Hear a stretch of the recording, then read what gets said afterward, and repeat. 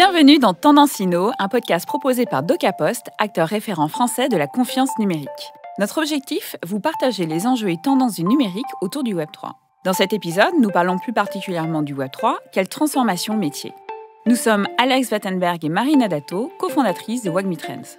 Aujourd'hui, sur notre plateau, nous accueillons une invitée de choix qui va nous parler de son parcours, de son expertise et de sa vision du Web 3. J'ai nommé Inti Bellassen, CEO et fondatrice de Ubiki. Et pour nous accompagner, Olivier Sono, directeur de l'innovation chez DocaPost, qui nous éclairera plus concrètement sur ce sujet et les enjeux associés. Nous espérons que cet épisode vous offrira de précieux enseignements et de nouvelles perspectives. Et sans plus attendre, mettez vos écouteurs et plongeons ensemble dans cette nouvelle exploration. Olivier, c'est à toi. Qui ne connaît pas Ubiki? Omniprésent depuis le début de l'ère du Web 3, multipliant les coups d'éclat et les coups de maître, Ubiki incarne à lui seul le dynamisme de l'écosystème. Mêlant dans une nouvelle approche end-to-end la gestion des talents, la stratégie Web 3, la création, un melting pot gagnant sur le marché, grâce à une pensée out of the box qui te caractérise. Inti, nous t'écoutons. Bonjour Inti. Hello Marine. Inti, peux-tu s'il te plaît nous expliquer comment le Web3 transforme progressivement les mentalités et les process de recrutement au sein des entreprises? Bonjour à tous. Bonjour Olivier et merci pour cette belle entrée en matière. Alors, pour répondre à la question, basée sur notre expérience HR Lab, on remarque avec Ubiki que les critères de sélection auparavant indispensables des clients ont disparu, ou presque aujourd'hui dans le monde du Web3.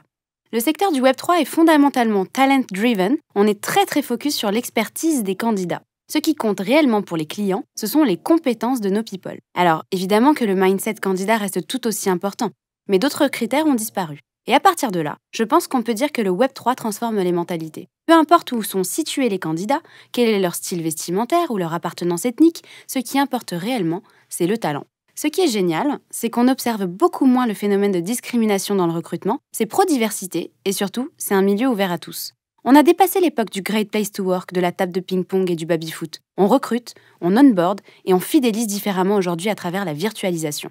On recrute différemment parce qu'aujourd'hui, envoyer un simple message sur LinkedIn à des profils en Californie, eh ben c'est pas forcément catchy. Notre outil de recrutement aujourd'hui, c'est Discord ou encore Twitter. Nos chargés de recrutement web de classiques se sont transformés en gamers, pro Discord et community builders.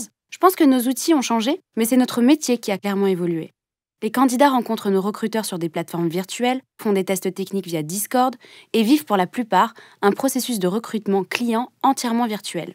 Il a fallu également repenser nos méthodes d'onboarding, qui ne sont pas forcément les mêmes avec un candidat en présentiel et un candidat à l'autre bout du monde. A fortiori, c'est aussi plus éco-friendly, étant donné qu'il y a quasiment plus d'entretien physique, donc plus de déplacements, et bien sûr zéro papier. L'un des sujets challenging et qui suit forcément après le recrutement, c'est le talent management. Comment on gère, comment on fidélise nos talents en full remote. Tous ces sujets ne sont pas encore évidents pour tous les clients, et c'est normal. Beaucoup ne parviennent pas à réaliser leurs objectifs de recrutement parce que leurs outils ne sont pas à jour ou parce qu'ils continuent de recruter comme si on recrutait encore il y a 5 ans sur les job boards classiques. Alors, ça marche encore avec certains candidats, mais pour les profils les plus pénuriques, et pas que dans le Web 3, dans le Web 2 aussi, c'est impensable. D'autant plus qu'avec la démocratisation du full remote, le marché des candidats est complètement bouleversé et d'autant plus pénurique. Les candidats ont compris que de super boîtes hyper attractives, autant sur le projet que la rémunération, étaient prêtes à les onboarder sans que les candidats changent de ville, de pays et de conditions. C'est pour cela que les grands comptes ont besoin d'accompagnement, au niveau HR notamment, pour bien comprendre l'évolution des codes dans le recrutement, la façon dont on onboard un talent par exemple, quels outils mettre en place pour gérer la virtualisation des process et la bonne communication quotidienne des équipes. Comment fidéliser? Comment créer un sentiment d'appartenance à l'entreprise assez fort pour retenir ses talents lorsqu'ils sont éparpillés aux quatre coins du monde? Ce sont des sujets qu'Ubiki traite, et nous proposons un accompagnement au RH des grands groupes pour aller vers une transition la plus efficace qui soit, et faire face à la concurrence en face, ces startups qui lèvent des fonds importants, qui ont des budgets pour recruter et qui sont très attractives. Merci Inti. Une deuxième question pour toi. Est-ce que cette transformation est déjà ancrée dans les esprits des COMEX ou bien se cantonne-t-elle aux seuls espaces innovation? Merci Alex. Comme évoqué dans ma réponse à la question précédente, cette transformation a un impact sur un périmètre plutôt large dans l'entreprise puisqu'elle démarre de l'innovation avec une volonté forte de faire évoluer, de faire avancer son entreprise en proposant, en testant de nouveaux projets, en innovant tout simplement, n'est-ce pas Olivier? Pour réaliser ces projets, les directeurs innovation doivent souvent faire évoluer leurs équipes sur de nouvelles technologies et faire en sorte de toujours les alimenter, car les talents de ces équipes sont très souvent des profils très bons techniquement et les POC développés ne sont pas toujours validés. Cette transformation touche un périmètre à cheval entre le marketing et les ressources humaines, la marque employeur. Être une entreprise à jour technologiquement, qui parle innovation, qui communique sur des sujets d'actualité, qui communique sur ses projets, qui développe et met en place des outils innovants en interne. Pour garder une image marketing positive et assez attractive pour permettre au HR d'avoir une chance de recruter les meilleurs talents du marché. Le marché est totalement inversé. Si l'entreprise n'a pas une bonne marque employeur travaillée par le marketing et les RH, notamment sur des questions d'employee value proposition, les candidats ne daigneront pas candidater. C'est pour cela que cette transformation doit être ancrée dans les esprits des COMEX. Et si ce n'est pas le cas, c'est inquiétant. Car tout va très vite par ici, et se laisser dépasser ne devrait pas être une option. D'autant plus qu'en face, et notamment dans le Web3, de nombreuses startups lèvent des fonds considérables, ont une marque employeur forte, des équipes engagées et passionnées, et recrutent souvent sur les mêmes technologies que les grands comptes. La réelle question est, est-ce que le Web3 est incontournable? La réponse est oui, et les COMEX des grands comptes qui ont décidé de porter des œillères en attendant que tout soit très stable et bien plus certain, se verront peut-être prendre un retard considérable face à la concurrence. Ça a commencé avec le buzz du métaverse et le côté marketing du Web3 pour les grands comptes, notamment dans l'industrie du luxe, qui ont compris que c'était un énorme levier pour leur marque employeur. Puis, ils ont compris et saisi le formidable aspect technologique du Web3 et les capacités utilitaires du Web3 comme la sécurité ou encore la traçabilité. Des sujets que nous mettons en place avec Ubiki et Barry au quotidien, au sein de nombreux grands comptes, aujourd'hui et dans tous les secteurs d'activité, le luxe, le sport, le gaming, l'industrie automobile ou encore la santé. Pour répondre à la question initiale, Alex, et de manière plus synthétique, les équipes innovation des grands comptes sont les ambassadrices du Web3 de la blockchain. Les plus chanceuses font face à des COMEX réceptifs qui ont compris les énormes enjeux du Web3 les autres finiront par convaincre leurs COMEX de par l'évidence technologique et la tendance du marché, mais je l'espère avec pas trop de retard. Inti, nous avons une dernière question pour toi. En 2023, la blockchain est déjà opérationnelle pour certains métiers. Quels sont les métiers en approche et ceux qui vont trouver dans cette technologie des relais de croissance? Chez Ubiki, on aime bien dire que du Web 2 au Web 3, il n'y a qu'un pas.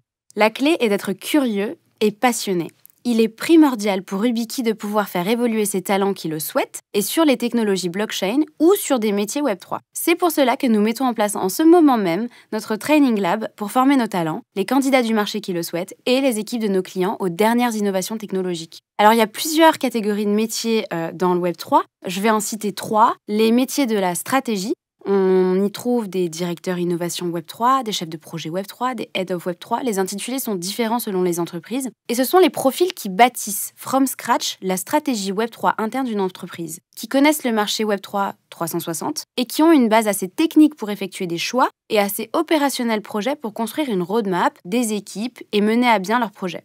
Les métiers techniques, comme dans le Web 2, dans le Web 3, on code, c'est juste qu'on le fait sur la blockchain et que c'est immuable. Ce qui est très important de souligner, c'est qu'il existe un pont entre les technologies Web 2 et Web 3 et les candidats doivent absolument le savoir. Il existe plusieurs langages blockchain, Solidity, Ligo, Rust et on pourrait en citer d'autres. Il faut savoir qu'un bon développeur Python, JavaScript ou C++ peut aisément se former à un langage blockchain et traverser le pont du Web 2 au Web 3. Pour prendre l'exemple de Solidity, c'est un langage dont la documentation indique qu'elle est influencée non seulement par du C++ et du JavaScript, mais aussi par du Python. Quoi qu'il en soit, un bon dev web de JS, Python ou C++ découvrira sur Solidity des similarités d'un point de vue de la syntaxe de langage. Rien ne se perd, rien ne se crée, tout se transforme. Le langage Solidity n'est pas né ex nihilo et il s'inspire d'autres langages. Venons au métier de la 3D, où on retrouve plusieurs catégories de métiers. J'en citerai trois. Les designers 3D. Dans cette famille, il y a plus de 40 métiers et de nombreuses spécialités. Les méta-architectes ou encore les game designers.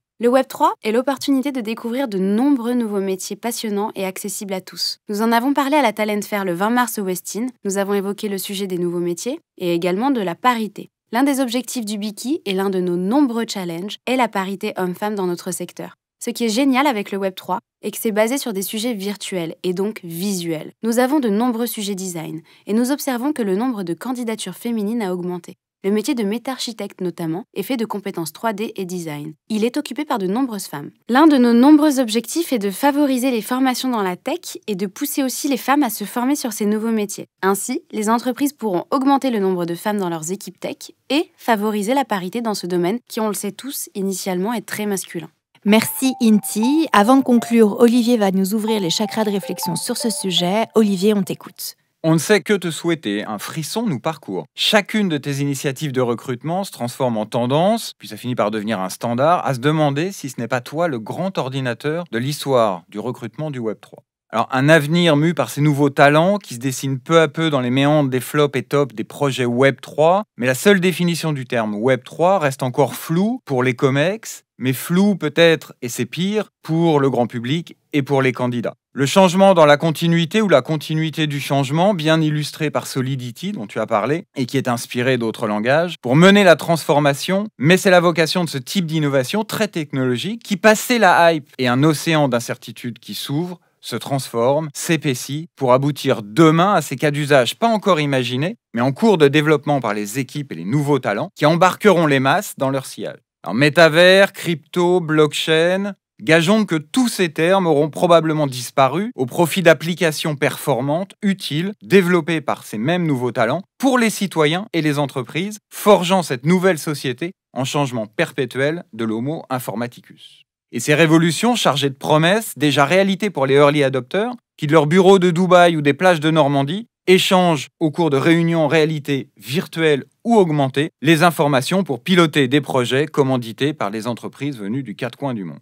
La technologie a supprimé la barrière de la langue, a supprimé la barrière de la distance et maintenant la barrière de la sensation de présence, rassemblant les compétences dans un monde virtuel au service des besoins réels d'une société pas encore consciente que son avenir et celui de sa jeunesse sera drivé par la technologie. À condition qu'elle embarque tout le monde, vous avez 4 heures. Et voilà, cet épisode touche à sa fin. Nous espérons que cet échange vous a apporté de nouvelles connaissances sur le Web 3 et ses transformations métiers, ainsi que de nouvelles perspectives de compréhension. Nous remercions chaleureusement Inti Bellassen ainsi qu'Olivier Sono pour leur participation et leur expertise, et nous espérons que vous avez apprécié cette discussion aussi passionnante qu'enrichissante.